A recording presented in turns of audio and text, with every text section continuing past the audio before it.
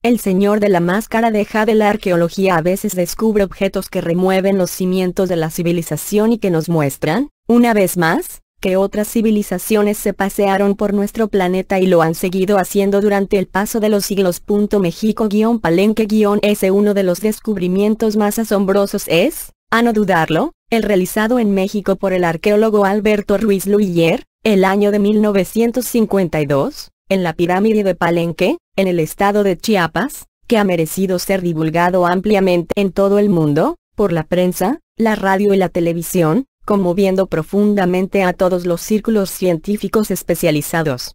Es el caso que muchos han denominado, Enigma del hombre de la máscara de Jade. En la mencionada pirámide de Palenque, fue descubierto el sarcófago con los restos momificados de un ser a quien los mayas habían adorado como el dios Kulkulcán. Estaba rodeado por todos los atributos de la divinidad en el culto milenario de esa raza, llevando el rostro cubierto por una fina máscara de jade y oro. Pero lo más notable del hallazgo lo constituye la piedra sepulcral que tapaba esa tumba, es una losa monolítica de 3.80 metros de largo por 2.20 metros de ancho, con un espesor promedio de 25 centímetros y un peso de 6 toneladas, en la que se encuentra esculpida nítidamente la figura de un hombre sentado en el interior de una máquina que guarda extraordinario parecido con las cápsulas espaciales empleadas, actualmente, por nuestros cosmonautas.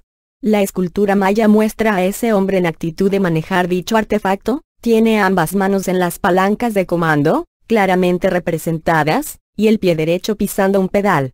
Lleva la cabeza con un extraño casco y un vástago del mismo, a manera de tubo o manguera, está aplicado a la nariz. El diseño de todo el conjunto comprueba la evidente intención de reproducir los complicados mecanismos de una nave espacial, con sorprendente similitud a las que hoy usamos en la Tierra, pues se ha cuidado hasta el detalle de la expulsión de gases, o fuego, por la parte posterior del artefacto. Palenque 3 México 1989 Por todo el mundo han circulado las fotografías y dibujos de tan extraordinario descubrimiento. Está de más decir que tanto la momia, como el sarcófago y los objetos encontrados en la tumba, fueron sometidos a todas las pruebas con que nuestra ciencia actual puede determinar la autenticidad y antigüedad de los mismos, y los resultados de esas pruebas, incluso las del carbono 14, rindieron un veredicto irrefutable y desconcertante. El hombre de la máscara de jade y la piedra esculpida con tan extrañas figuras datan de hace 10.000 años.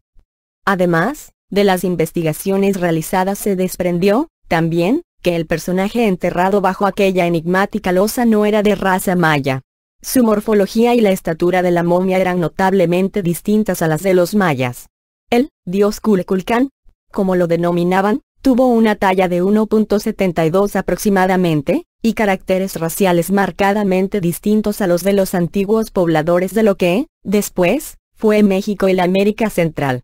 Para muchos, esta es una prueba más que nos dice claramente que hubo un contacto más que cercano entre gentes de otros mundo y nuestros antepasados. Para otros, la lápida tan solo es una representación del momento de la muerte y el descenso a los reinos del inframundo. En el detalle de la lápida se pueden ver con claridad algunos detalles, como la estructura metálica del artefacto, con tornillería y cableado. En la parte baja se representa el fuego que sale del artefacto y en los laterales el humo que desprende. Las palancas de mando en sus manos y un pedal en el pie derecho más la especie de máscara en la nariz del tripulante. Aparte, diseminados en el relieve aparecen diferentes objetos no demasiado identificables pero que parecen más típicos de nuestra época que no de hace miles de años. En la mayoría de las antiguas civilizaciones del continente americano existen muchas pruebas de ese contacto con dioses venidos de los cielos y a día de hoy, nadie ha podido explicar por qué eran poseedores de ciertos conocimientos en cosmología, medicina, arquitectura, etc. ¿Fueron estos dioses también sus maestros?